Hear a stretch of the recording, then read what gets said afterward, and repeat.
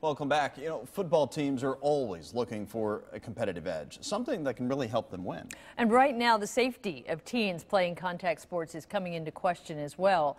St. Xavier High School thinks it might have found an answer to both.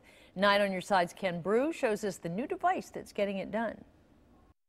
In the heat of summer training, St. Xavier has found something pretty cool. We're trying to make the game better and safer, and this is a part of it.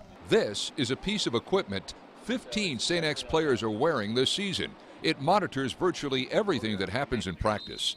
Number of hits a player takes, heart rate, total distance running in a practice, top speed each player achieves. I'm a fast guy, but I'm not like some of these peak athlete mm-hmm. speed type of guys. So, like learning, like, listen, you're running 20 miles an hour. That's that's pretty cool to know. It's cool, and it also has a larger purpose.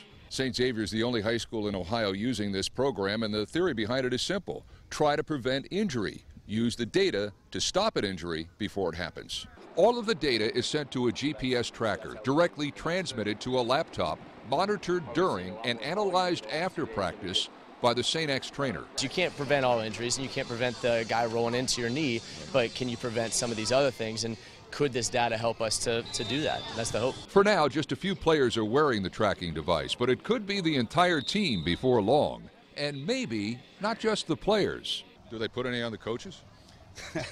I think we'd all be too embarrassed at how low our output was compared to theirs. That's funny. At St. X, Ken Broo, nine on your side.